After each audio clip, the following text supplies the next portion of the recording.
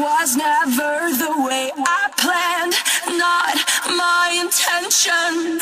I got so brave, drink in hand, lost my discretion. It's not what I'm used to. Just wanna try you on. I'm curious.